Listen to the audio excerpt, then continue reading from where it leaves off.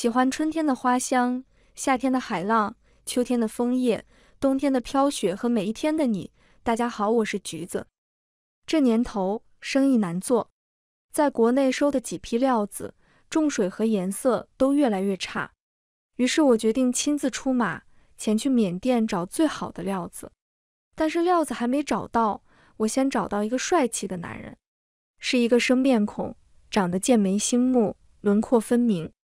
特别是穿着短袖时，抬手间隐隐鼓起的肱二头肌。只是看那五官，似乎是同胞。这一片收料子的人我都眼熟，怎么会出现个陌生同胞？我随口用缅语打了句招呼：“老板，之前没见过你，哪里人？”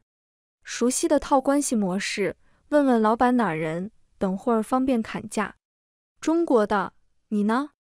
难怪这缅语。说的可真不顺溜，我自信的聊发，用标准的普通话轻松回复。他乡遇故知，老板卖货便宜点呀。帅哥顿了顿，我感觉到他不动声色的打量一下我。他行，你挑。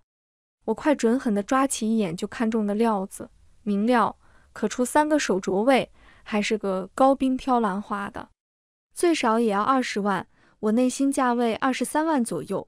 毕竟高货不便宜，我摸了摸自己干瘪的荷包，试探的问：“这个多少 RMB？”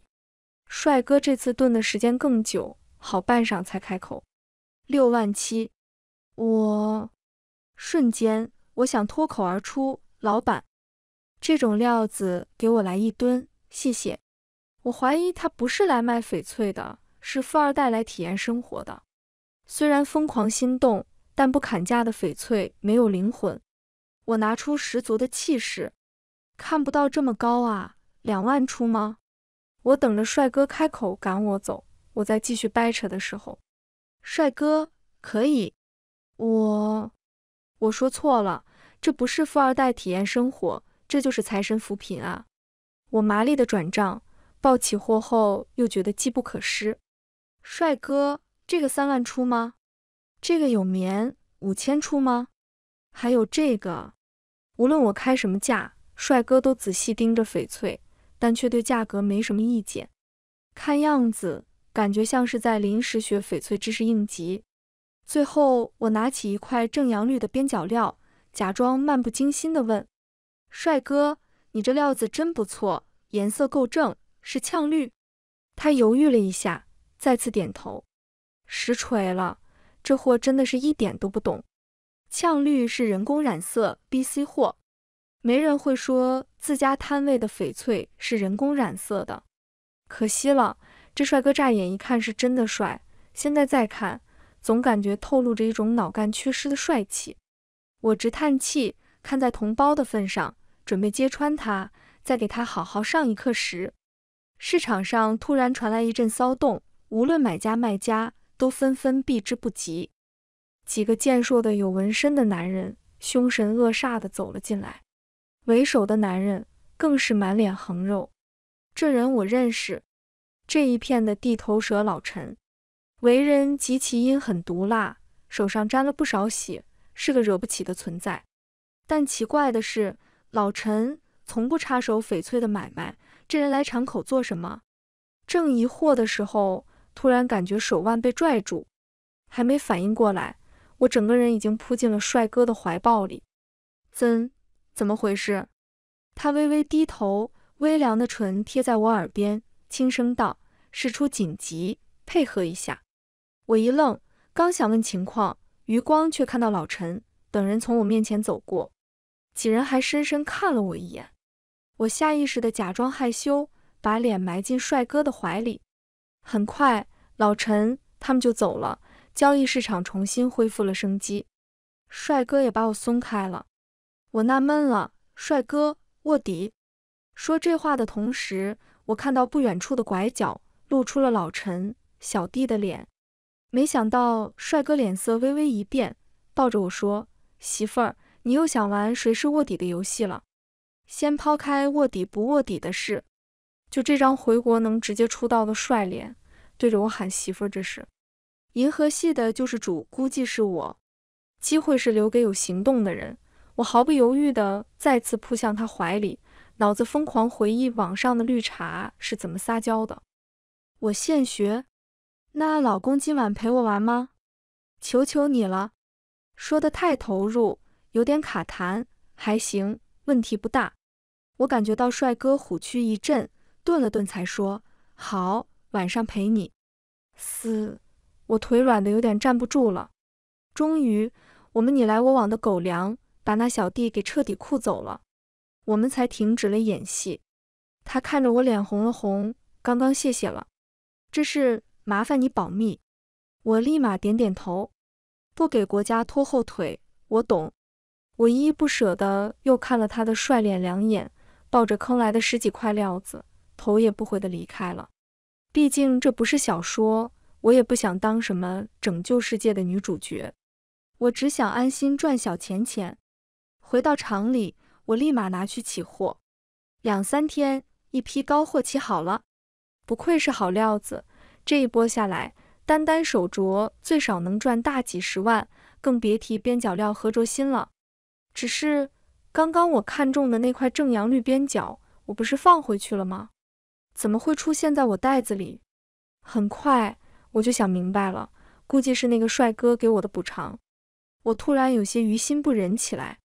刚刚应该要个名字的，下次有机会教一下他翡翠基础知识吧。不至于容易被发现问题。说干就干，我收拾收拾就往交易市场走去。还没踏进去，我就遇到了老陈一行人，他们正坐在门口一家面馆里。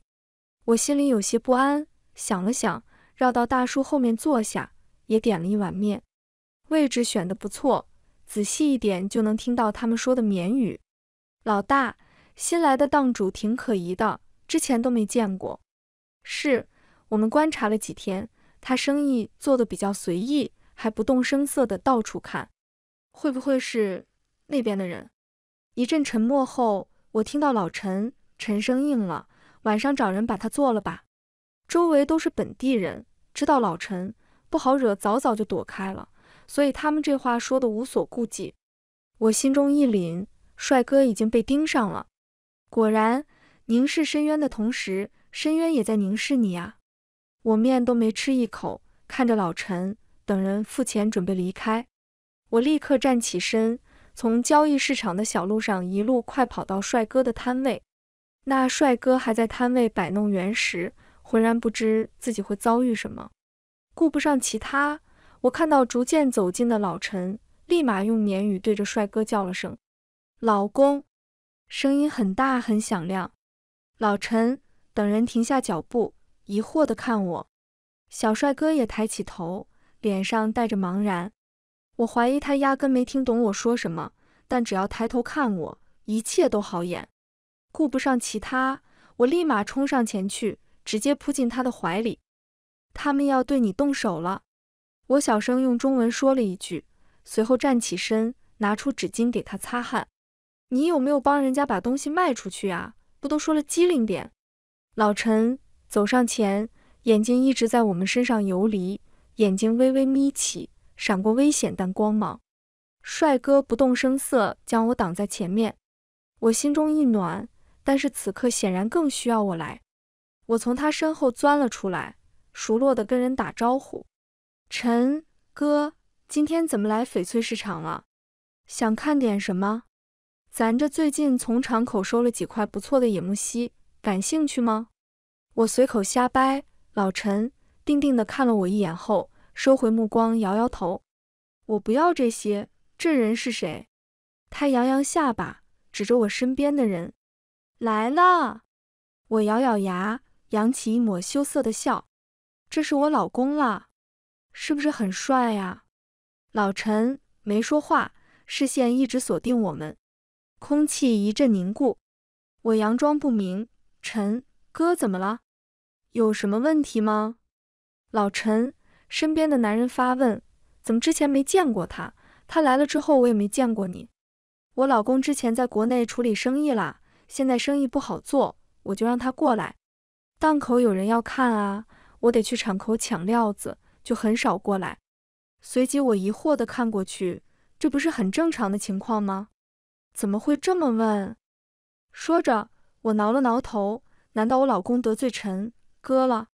不好意思，我老公刚来，什么都不懂。陈哥，您看。说着，我瞪了帅哥一眼，改成普通话去说：“这是陈哥，是你能得罪的人吗？你害得我没法做生意，我就跟你离婚。”我知道老陈他们听得懂中文。小帅哥立马会意：“媳妇，我错了，别生气了，好不好？”在老陈。的紧盯下，我咬牙继续打情骂俏。错哪儿了？哪哪都错了。老陈打量了我们许久，最后收回视线。原来是夫妻，是我们误会了。走吧。几人浩浩荡荡的离开，确定人走远之后，我才松了口气。这才发现自己后背都在冒着冷汗，好险！谢谢，帅哥低声道谢。我挥了挥手。表示没事。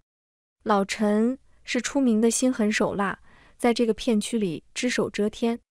如果被他盯上，不死也要脱层皮。伊洛瓦底江底沉了太多得罪了他，最后只能身体上被绑着石头流入葬身之地的人。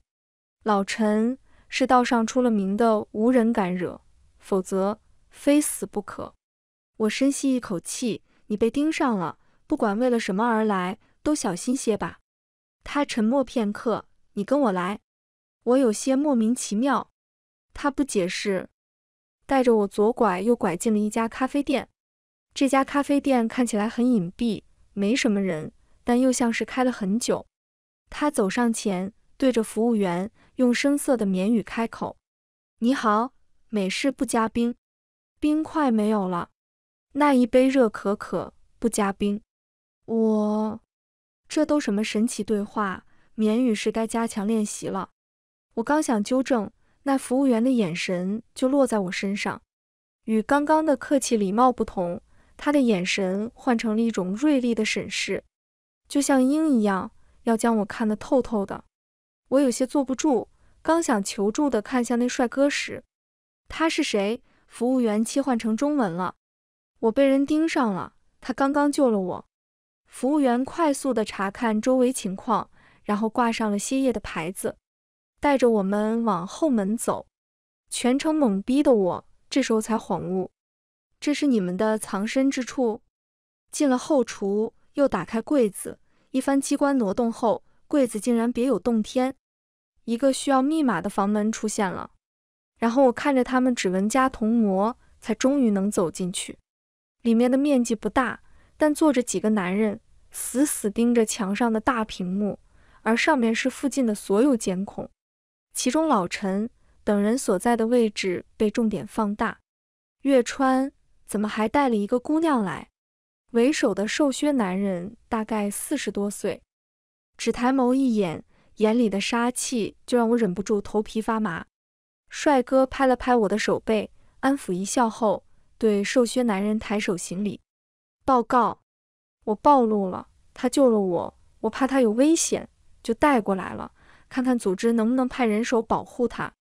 原来他带我过来是为了找人保护哦，莫名的心里有股暖流经过。小帅哥快速的说了一遍情况，几人看我的眼神才友善了一些。原来是这样，小姑娘叫什么名字？乔雨。这时我才想起一件事。我转头看向帅哥，你叫什么名字？周围的人倒吸一口冷气。可以呀，月川，人家连你名字都不知道，都愿意装你媳妇。不愧是我们对草，待遇就是不一样。我有些尴尬，我被美貌蒙蔽了双眼的事实，这么快就被发现了。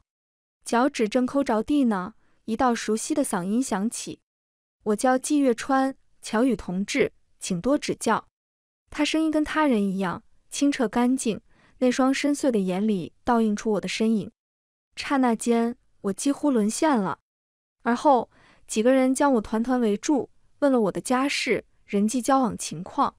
很快，我祖上三代都被挖得干干净净之后，他们终于露出了满意的笑容。既然是同胞，那我们就说实话了，我们是来办案的。缅甸拐卖人口的国际重案。小胡子男人看着我，语气郑重。但本地情况我们不熟，乔宇同志，我们需要你的帮助。我有点懵，不是来寻求保护吗？怎么反过来了？还没等我说话，季月川立马拒绝。不行，副队，他只是一个普通民众，是需要我们保护的对象，怎么能掺和进来？瘦削男人静静地盯了季月川一眼，冷静地分析：乔小姐常年在缅甸生活。熟悉这边的情况，你和他一起不容易被那些人察觉。季月川还是反对，可这些人做事心狠手辣，宁可错杀一千，也不放过一个的手段，一旦被怀疑上，他后果不堪设想。瘦削男人笑了笑，直接问我：“乔小姐，你的意思呢？其实你什么都不用做，只需要帮月川伪造一个假身份，掩人耳目就是。”他语气礼貌。没有强迫，但我感受到了扑面而来的压力。拐卖案啊！我垂眸，看到一双大手在我手背上写了一个字，似乎是不。这双手是季月川的。我懂他的意思，他想让我拒绝，但我看着他那张帅的人神共愤的脸，笑出了花痴样。没问题，配合工作是我们应尽的义务。为了颜值发烧。我称自己为无辈楷模，瘦削男人似是松了口气。你说的太对了，那接下来我们几人跟我说了很多的注意事项，最后还给了我一个小小的警报器，如果有危险，立刻拉动它。随后拖延时间，我们一定会尽快救你。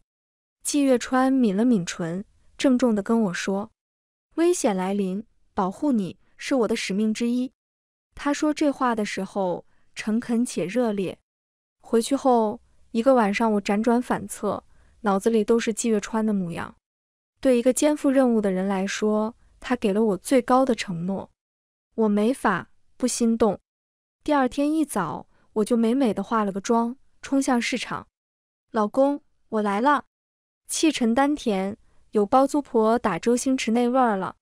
果然，季月川被我这话吓得一抖。手里的原石差点砸脚，我笑眯眯地凑近，他只无奈地瞪了我一眼。等市场人更多了，我开始带着季月川转转，跟几个收获比较多的人都打了个招呼，算是混个脸熟。万一别人问起来，没人知道季月川是我老公，老陈一定会怀疑。这天，我蹲在地上教季月川翡翠知识。这个皮壳是木纳的料子。特点是有色必进，这个敞口的料子容易出奇迹。莫西沙的料子以重水出名，都是糯冰以上。上天入地莫弯机，难骑出妖精。这是松花，这是蟒，看打灯效果呀。切记宁满一线，不满一片。教的正上头呢，一个人过来挑选料子，我熟练的招呼他。但是他却时不时将视线落在季月川身上。乔姐，这人谁啊？有点陌生啊。已经不是第一个这么问的人了。最近来看货的人，总有几个时不时问起他。一方面，季月川长得太过惹眼，在一群人中格外突出；另一方面，来问的人起码有八成是老陈派来套话多。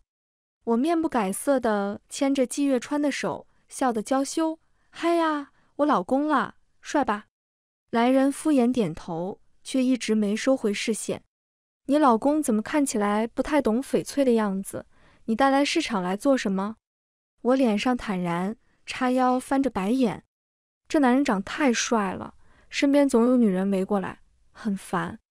万一我不在家，怕被狐狸精勾走了，我去哪儿哭？男人笑笑，也是。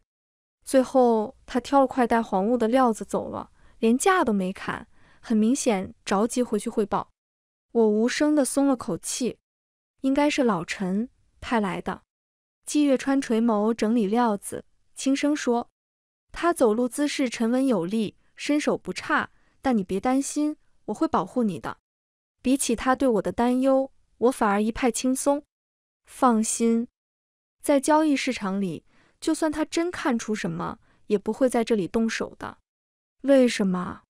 这片区老陈虽然能只手遮天，但除了翡翠交易市场，这里有另一个人罩着。老陈染指不进来，我抬手往上指了指。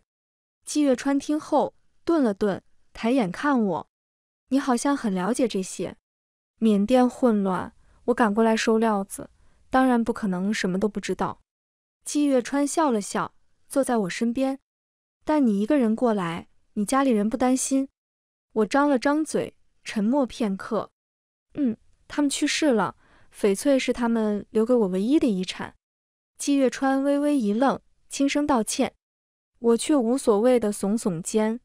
十年前一场车祸，两人丢下我走了，亲戚们不仅没帮忙，还跑过来争夺我财产。整整三年，我都在打官司当中度过。险胜后，我开始没日没夜的和翡翠作伴，只为了不让我家招牌砸在我手里。都是陈年往事，我早就已经忘怀了。走吧，我带你再逛逛。他每天晚上都消失，我知道他是去跟进案子了。我也从不过问，只白天带他到处走动。好在效果很明显，仅仅半个月，周围一片翡翠人都开始跟我老公打招呼了，还有人时不时的打趣，问我们什么时候要孩子。每次听到这话，季月川的耳尖儿都微微泛红，其中。说的最勤快的就是市场口那家裁缝店的阿婆，她对我一向很好，每次看到我时，脸上都带着祥和的笑意。第一次见到季月川，更是从上到下都打量一遍，问了不少的情况，像是生怕我遇到坏人。眼看着市场的人都混熟了，这天却来了个不速之客，我的一个竞争对手陈丽丽。从我爸那一辈开始就互相争斗。一直到我们，直到陈丽丽去涉及一些其他生意，我们的关系才勉强缓和了一些。好巧不巧，今天她过来的时候，我摊位上正好站着一个客户。乔宇，你什么时候结婚了？我怎么不知道？陈丽丽随手拿了块春料，睥睨着我问道。我心下一个咯噔，果然，那客户的眼神立马警惕了起来，目光仿佛要把我烧穿。我微微仰头，做出一副理直气壮的模样。废话，我结婚，我能告诉你，你这人不去我婚礼上找我晦气才怪。你请我，我还不来呢。陈丽丽冷哼一声，看向不愿走的客户，看什么看？你也上赶着当人家老公？没看人结婚了，你配吗？很好，这很大小姐。她的几句话就要把客户赶走了。客户临走前还多打量了我们许久，陈丽丽懒得理他，又看向季月川：“你这老公挺帅呀，干嘛不发朋友圈炫耀？”我顿时心头一紧，最后咬牙凑到季月川身边，狠狠在他脸上亲了一口。在场的人都懵了，尤其是季月川，更是红着脸不敢说话。我老公这么帅，我怕你看上来抢。早就把你屏蔽了，陈丽丽气得跺脚。男人终于收回视线，付了钱拿料子走了。我心里松口气，呃，狠狠地盯着他。你来干什么？你不是把翡翠业务丢给你弟了吗？我又不是来买翡翠的，我来进一批生鲜而已。他们已经给我送到不远处的冷冻库了，我让人清点了就走。陈丽丽翻着白眼，你还是看住你老公吧。小心被别的狐狸精勾走了，到时候哭都没地方哭。他说完，带着人扬长而去。要不是担心陈丽丽留在这里，再说什么不该说的被人听到了，我一定把他拦住，来个三天三夜的小学生吵架，真是憋屈。我气了一夜，第二天一早就收到了个好消息，于姐，我收到消息，陈丽丽的东西过边境的时候被扣了。几卡车的生鲜肉类全堵在那儿了，真的，我顿时心情明媚，哼着歌往厂口走。刚出门就撞上假装晨跑回来的季月川，心情这么好，我挽着季月川的手点头，遇到了超级高兴的事情。但一向喜欢刨根问底的季月川，这次没了下文。我有些疑惑，但猛然想起昨天，我似乎听到季月川打电话，隐隐提到了什么扣押、检查之类的词语。我心中划过一丝念头：陈丽丽，这事不会是你干的？如果是，季月川在我心中刚正不阿的形象顿时崩塌了，就好像高高在上的神仙突然掉下神坛的感觉。我没假公济私，我只是举报。怀疑他东西里有违禁品而已。如果没有，很快就能放他离开了。虽然他没说为了我，但我心中忍不住犯甜。我看着这张帅的人神共愤的脸，心里突然感觉，仙子还是应该沾点人间烟火气息才行。太帅了，容易有距离感。结果晚些时候，我又收到了小助理的电话，陈丽丽的车子里还真有违禁品，当即就被扣下了。我心里愉悦，翻找出一块天空蓝的料子，打算给季月川做个平安扣。三天后，平安扣打磨好，我拿着东西往市场走，还没进去，就在门口路边的裁缝店遇到阿婆。小雨，我的线好像缠在一起了，你帮我看看好吗？我弯下腰，发现缝纫机下面的线都缠在一起，只是阿婆太老，弯不下去，里面空间狭窄。我勉强钻进去，一堆的衣服布料挡住大部分光。我正准备整理，就听到熟悉的声音：“阿婆，我上次要的衣服做好了吗？”这声音是老陈。我心中一惊，屏着呼吸，一动不敢动。我给你们拿。阿婆沙哑的声音应着，抱起几包布料就往里走。经过我时，把布料放下后，再继续往里走。我心下感动。小心翼翼地看着外面，莫约三四个男人，正中间的就是老陈。他点了根烟，吞云吐雾，告诉他们动作快点，东贸广场那边是最后一次，以后就别约在哪儿了。几分钟后，阿婆将东西拿过来，几人付钱就走了。我跟阿婆打了声招呼后，就赶紧找到季月川。东茂广场，季月川沉思了一会，才点头。我回去报告这个消息，今天就不待在市场了。那你会有危险吗？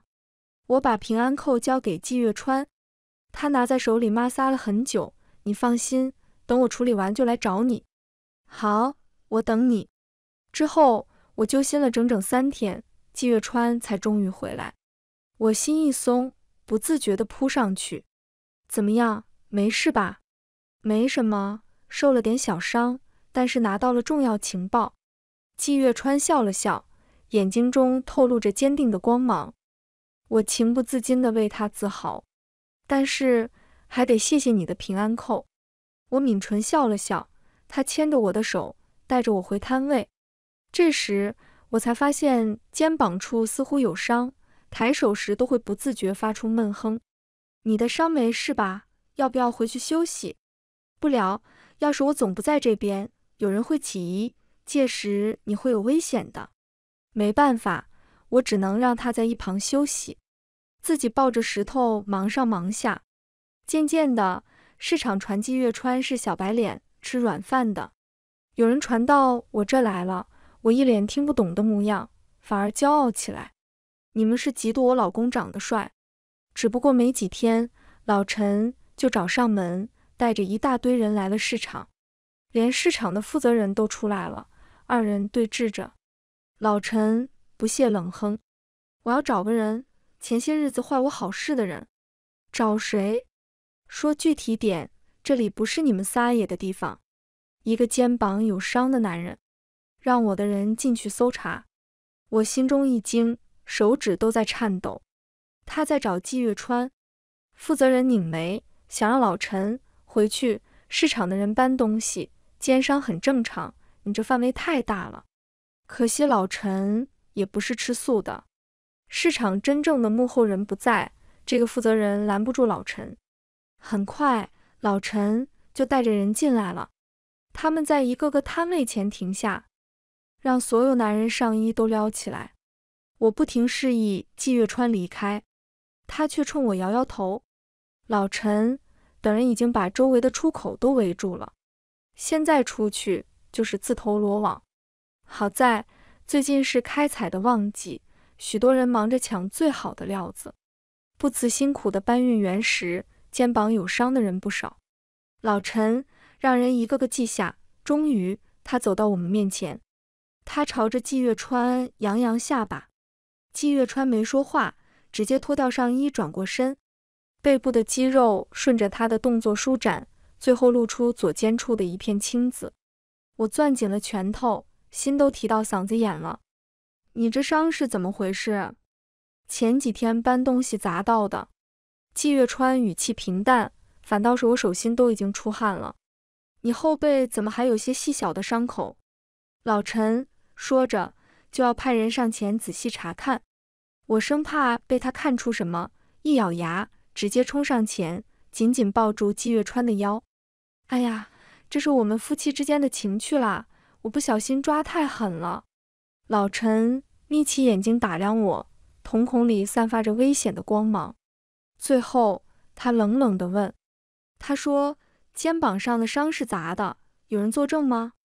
我捏紧拳头，笑着回答：“当时我老公砸伤。”我到处借了点药酒了，我当时就怕有这一天，干脆瞎跑，四处问人要药酒，顺便就给人洗脑季月川受伤的事情。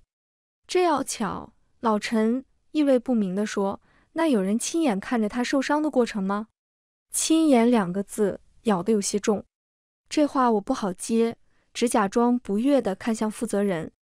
负责人也拧眉：“你到底要找谁？别耽误我们的生意。”否则，老陈不回话，只冷哼一声，看向季月川，到底有没有？有，我看到了。人群中突然有人喊了一句，随后缓缓走出来。他步伐很慢，但异常坚定。我一愣，居然是阿婆。她走上前，手里还拿着一瓶药酒。那天小雨老公被砸的时候，我看到了，他找我借的药酒。我的心砰砰直跳，因为我确实找阿婆借的酒不假，但是季月川被砸这事纯粹是凭空捏造的，阿婆在帮我圆谎。老陈似乎没想过阿婆会作证，最终后退一步去问别人。等人逐渐散去之后，我才终于松口气。阿婆还站在我面前，笑眯眯地看着我。阿婆，我别说了。你自己注意安全就是。阿婆把药酒塞在我手里，再给你老公擦点吧，好的快。她说完这句话就离开了。季月川看着阿婆的背影沉思。那个阿婆是谁？裁缝铺的老板。我第一次来缅甸的时候就认识了。当时我还小，跟着我爸第一次来，害怕的躲在我爸身后。那时候阿婆就笑嘻嘻冲我打招呼。等我走近后，塞给我了颗糖，还问起国内的很多情况。那个阿婆，你见过她家人吗？我摇摇头。但是阿婆对我很好，周围的人也从来不为难她。季月川收回视线，神情却很严肃。不仅仅是不为难，而是恭敬。负责人对阿婆的态度是恭敬的。我仔细回忆了一遍，顿时沉默了。好像确实如此，不光是负责人，还有老陈，看到阿婆时也不敢太张狂。我脑海里立马闪过无数荒诞的想法，我会把这个消息一起汇报上去，看上面的决定。我点点头，没想到门口裁缝店的阿婆都是个深藏不露的大佬。那其他人？之后的几天，我都仔仔细细把周围人看了一遍。试图再找出一个大佬，可能因为我看得太明目张胆了。市场里有风声，认为我和季月川感情破裂。我已经开始找新的男人了。我很好，这几天季月川又去处理事务没来，市场就出了这种谣言。我简直哭笑不得，只好叹气的到处解释，说他是回国一趟，帮他做点不在场证明。这次他离开的时间有点长，就在我担心他出意外时，他回来了，还带着一个伤痕累累的男人。这天晚上，我嘴馋，带着我的两只狗去觅食。两只体重上百斤、站起来足足有成人高的大狗，带出门极具威慑力。它们就是我深夜出门的勇气。买了吃的，我就往回走，可两只狗却同时在一个巷子前停下脚步。我拉了拉，两只狗依旧纹丝不动。顺着他们的方向，我看过去，终于在灯光昏暗处看到了一个蠕动的人影。干，什么玩意？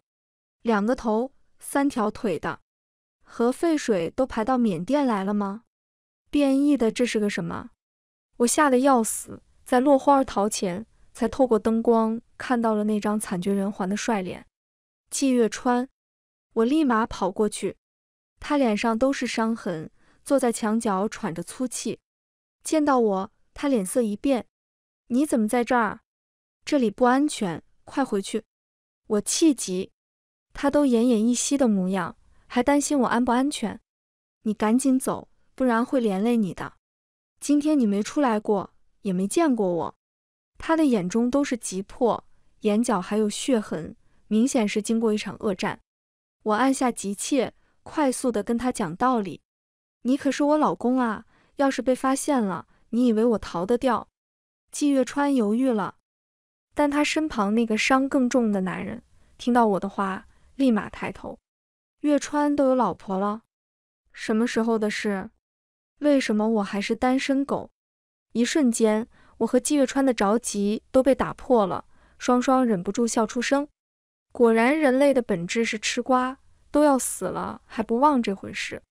我和季月川艰难地把人扶回家，我这才发现男人的一只裤管空荡荡的，伤的比我想象中还要严重。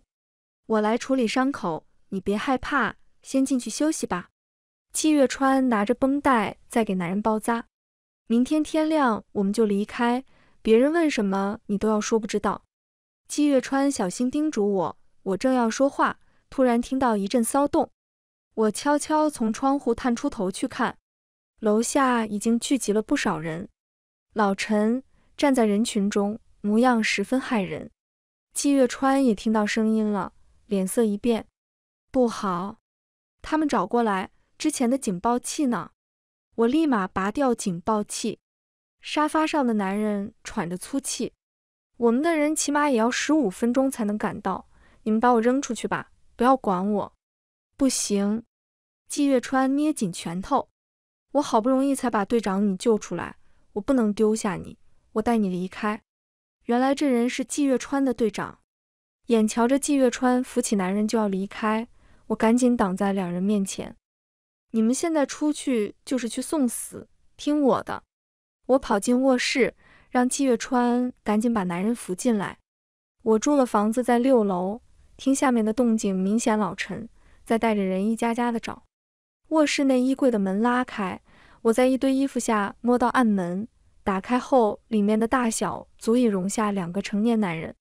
季月川吃惊地看着我，我一做翡翠的，当然怕小偷了，不得在家里设计密室。我赶紧让两人躲进去，随后拿着拖把开始打扫家里的所有的血迹，空气中还弥漫着淡淡血腥味。我喷了香水。又从冰箱里找出才买的生肉，直接扔在狗碗里。两只狗摇着尾巴，我关上灯，躺在床上，努力平复心情，心砰砰直跳。我听到脚步声越来越近，而后传来敲门声。十，我故意等敲门声传来好几遍后，才烦躁地吼了句：“谁呀？”随后走出去开门，门口站着几个男人，还有这栋楼的管理员。什么情况啊？大晚上的要不要人睡觉？老陈扫了我一眼，冷声道：“我们找人，需要搜查一下你家。”我家没人。说着，我就要关门。老陈的人眼疾手快，挡住门，只是看看，确定没人，我会走。让我进去。今年你的管理费我不收，我年年都给老陈交一笔不菲的管理费，只是想求个平安。因此，平时他从不刁难我。我知道拦不住，最后假装贪财的模样，打开门让他们进去。你老公呢？回国了。老陈清秀着，随后冷光扫向我，怎么有血腥味啊？话音刚落，门口的人都戒备地盯着我。我指向门口正在吭哧吭哧干饭的狗。我家的狗爱吃生肉，其中一只狗抬起头，吠了一声，吓得门口的男人往后退。有人直接冲进我的卧室里，就连床底下都有人趴着看了一遍。有人打开我的衣柜，在里面仔细翻找。我强忍着心中的慌乱，面上一片镇定，还带着些许不耐烦。半晌后，两个男人走出来，摇摇头。我的心还没落下来。老陈突然看向我：“你好像很紧张。”他一步一步向我走来。此刻只有我一个女生，身边的战斗力只有两只干饭狗。但是门口还围着好几个持刀壮汉，敌我差距有些悬殊。我咬牙，脑海中疯狂地思考如何应对时，有个小弟突然在门口喊：“陈哥，老金来了！”老陈的脸色突然一变，往外看了一眼，又看向我：“你还认识老金？老金，谁呀？”正疑惑的时候，门口围着的人。纷纷让出一条路，每个人都弯腰，脸上闪过敬畏。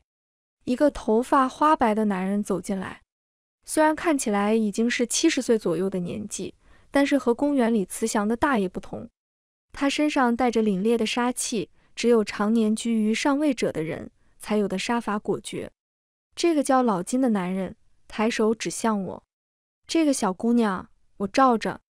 我看见老陈。咬牙点头，挥挥手，让手下的人赶紧离开。直到一群人退出我家，我还站在门口，一脸懵逼。这，这是怎么回事？正疑惑着，我看到站在不远处的阿婆，他笑盈盈看着我，对我比了口型。别怕，我心里立马安定下来。老金走到他身边，阿婆朝他一笑，和他一起离开了。确定所有人都走了，我才打开暗门。季月川和男人走出来，刚要说话，我腿一软，直接坐在地上。你做的很好，别害怕。季月川赶紧将我扶起来。门外这时再次传来敲门声，三声短暂有力的敲门声让我心头一惊。别怕，是我们的人。季月川将门打开，外面站着的是之前那个瘦削男人。没事了，老陈走了。队长呢？几个大男人瞬间占满了我家的客厅，两只狗警戒地围着我。队长被接走，留下瘦削男人和季月川。瘦削男人，谢谢乔小姐一直配合我们的工作。我尴尬地笑了笑，毕竟我一直都不知道他们到底在调查什么案子。我们不远千里来到缅甸。为的就是想救回我们的同胞。男人抽了口烟，笑了笑。中国公民被拐卖到缅甸一事，缅甸警方靠不住，我们只能自己人过来营救。老陈他们是不小的犯罪团伙，也是我们第一批要下手的对象。刚才那个男人是我们的队长，也是最早带人来办案的人。只可惜他被抓住了，受到了非人的对待，万幸还是就出来了。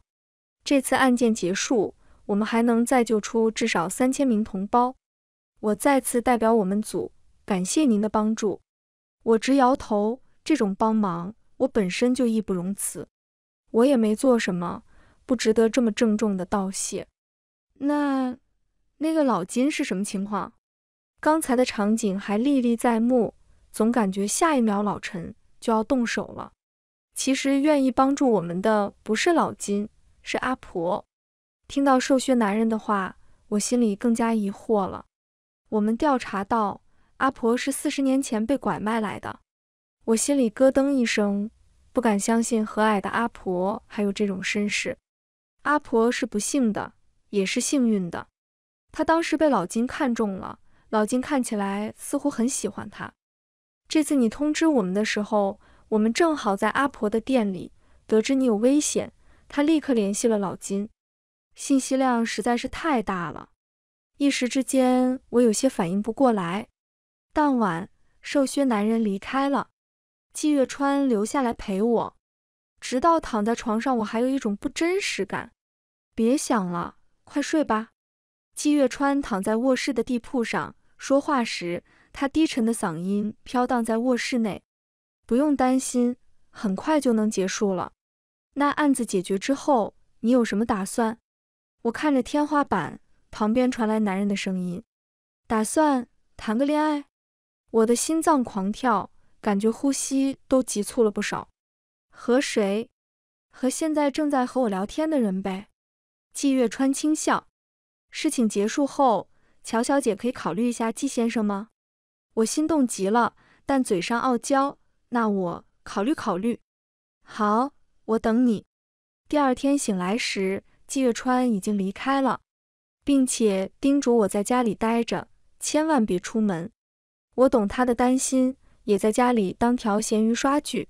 三天后，终于接到了季月川的电话，事情已经解决了，我们把所有人就出来了。老陈也在被追捕中，他逃不掉的。他的语气是前所未有的轻松。我们准备今晚带着的大家离开，你也和我们一起吧。我答应下来，立马收拾东西，准备晚上的时候跟着大部队一起撤离。要带走的肯定是各种玉石了，每一个都是我费了眼力挑回来的好货。只是有两个满绿的高冰料子。我没找到，好像落在了市场上。要还是不要呢？思索再三后，我还是咬咬牙，牵着我的狗往外走。场口内依旧风平浪静，我抱着我的料子，长舒一口气往外走。正巧遇到了在裁缝铺门口的阿婆，她看着我，眉眼依旧带着笑容，站在阳光下，仿佛显得整个人都很温柔。下一秒，他突然脸色一变。惊慌地朝我大喊，我还没反应过来，脑袋就遭受了狠狠一击。晕过去之前，我看到了老陈那张狰狞的脸。老大，那些人真的会来救这个女人？只不过是一个女人而已。世界上的痴情种多得很，老金还为了一个女人洗手不干了。几十年了，人家也没看他一眼。我意识模糊，眼前一片黑暗，周围还有耳鸣声。只能听到一些模糊的对话。A 哥的尸体我们已经安顿好了。好，那个姓季的开枪打死了 A 哥，我一定要让他把命搭在这儿。而后就是一阵越来越近的脚步声，我头上的黑布被掀开。老陈看着我冷笑：“我们也算认识多年了，没想到你胆子居然这么大。”几个男人将我团团围住，其中一人掏出手枪指着我。黑漆漆的枪口抵在我的脑门上，我后背冷汗直流。A 哥，因为你们死了，现在我们的事情败露了，缅甸处处通缉我们，一切都是拜你们所赐。老陈捏紧拳头，把我的手机扔在我面前，上面有季月川无数的未接来电。那个老女人还挺护着你，一直求老金来救你，你的小老公也着急的很。老陈。一只手突然掐住我的脖子，我对上他眼中的杀意，胸腔内的空气在急速流失。但是我不会放过你们的，就算是死也要带上你们。就在意识丧失的最后一刻，我被狠狠扔在地上，全身都感觉到疼痛。我蜷缩在地上，意识越来越模糊。给你的小老公打电话，让他三天后过来找你，带着五百万现金过来，必须是就纸币，不连号。还要一辆车，否则我现在就毙了你！我闭了闭眼，脑子在快速转动着。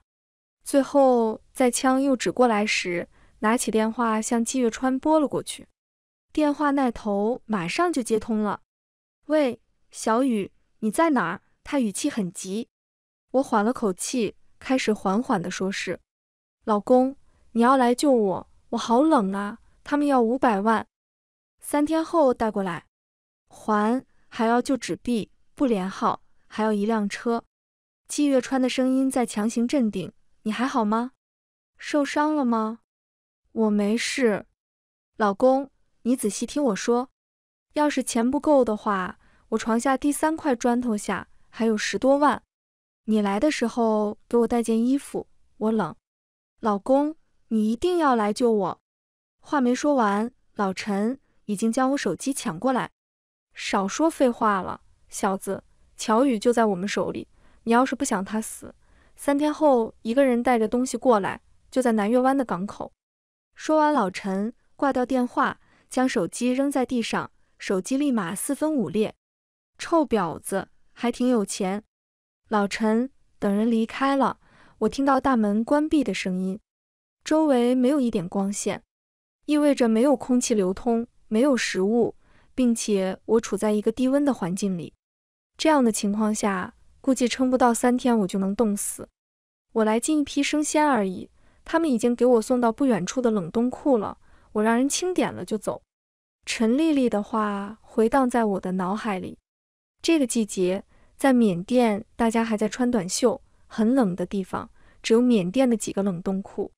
季月川曾经教过我，他们分辨方向。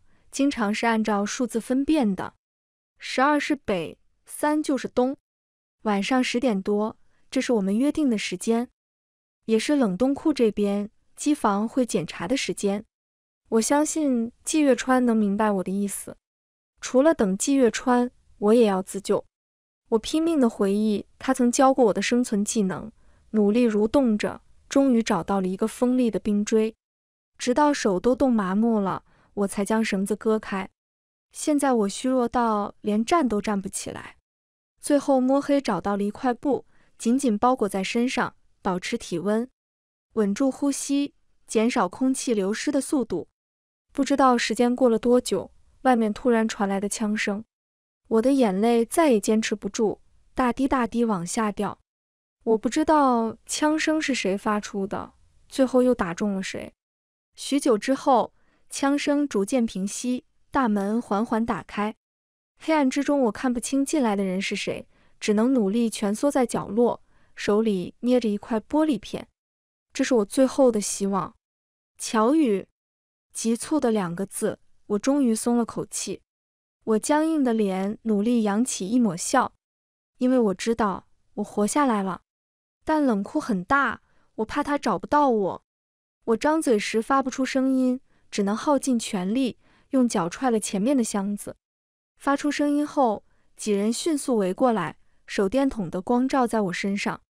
季月川着急向我扑过来，终于感受到热源，我卸去浑身的力气，在季月川的怀里放下心。很快，我的意识渐渐模糊。再次醒来的时候，我已经在医院里了，周围堆满了不少人。季月川，瘦削男人。阿婆，甚至还有只见过一面的老金。太好了，终于醒了，他们都松了一口气。这次你受苦，回国后我会向上级汇报你的功劳，还有你的身体。瘦削男人一直在说，但我却什么都听不进去，只直直的看着季月川。很快，瘦削男人也闭嘴了，一群人就这么盯着我俩，我都差点死了。本来不薄的脸皮更厚了起来。事情结束了，你要不要给我表个白？毕竟我冒这么大险，连个名分都没有，也太亏了。周围的人倒吸一口冷气，我甚至听到有人在后面小声说了句：“真猛。”季月川笑出了声，眼眶还有些微红。我的荣幸。病房内众人都露出笑容。瘦削男人轻咳一声：“那什么？”记得打报告啊！没有报告不让结婚的。在医院待了两天，我终于满血复活。季月川说，其他被拐卖的同胞都已经全部被送回去了。那阿婆呢？他无奈地摇摇头。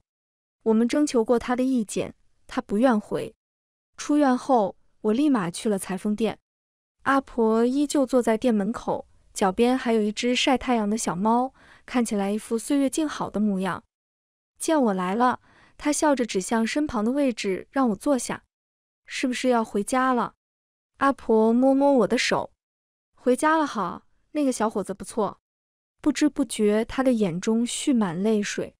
回家好啊，听说国内发展的很好，你们回家以后就能幸福在一起了。阿婆声音都在颤抖，我赶紧给她擦拭眼泪。阿婆和我们一起回去吧。她摇摇头。打量着这个裁缝铺，离家太久了，我记不得回家的路了。我和他纠缠了二十年，最后他给我这个小铺子，我就一直住在这儿了。不敢相信阿婆被拐卖来的四十年是如何度过的。她是不是最开始也期盼着可以回家，期盼着有人来救她，后来却又逐渐失望？那你们怎么打算？阿婆笑着摸摸我的头，这么大岁数了，不像你们年轻人，谈谈恋爱、结婚生子，我们知道对方活着就行。最后季月川来找我，阿婆给我们拍了张照片，照片很快就洗出来，她看了很久，眼泪滴在照片上。他赶紧伸手擦拭，将照片放在一个小盒子里。他挤出笑容看着我们：“回家吧，快走了。”我临走前看见了站在不远处的老金，他就站在角落里，目光都落在裁缝店上，满是眷恋。回国后，我倒头睡了三天三夜，直到门口两只狗不停在嚎，我才醒过来，踩着拖鞋怒骂。又不是没给你们吃狗粮，吼什么吼？一只狗委屈地看着我，最后给我指了门口的方向。我心生疑惑，打开门，季月川穿着一身休闲服，抱着两块木讷的春料原石。嗨，你的男朋友到了，请查收。